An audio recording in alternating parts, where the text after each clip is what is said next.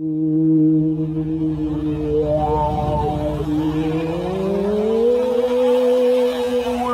wow, wow.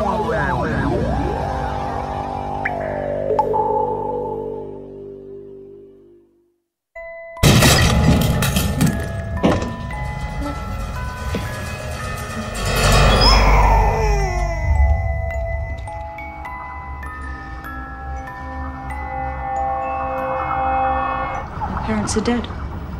Murdered. It's a house robbery. They ever catch who did it?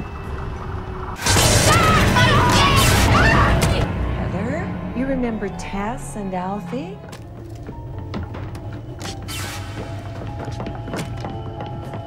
It was murder, all right. Uh, Jane McGill, she was stabbed.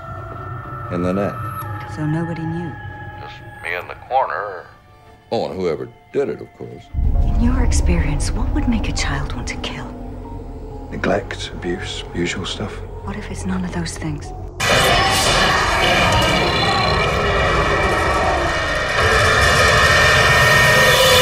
Do you know what happened to her mom? She was murdered.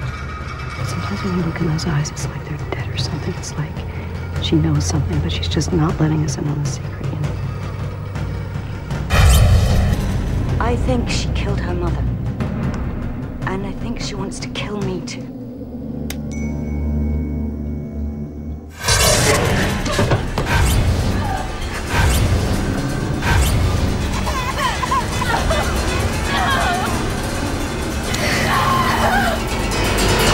It's all right, Mommy.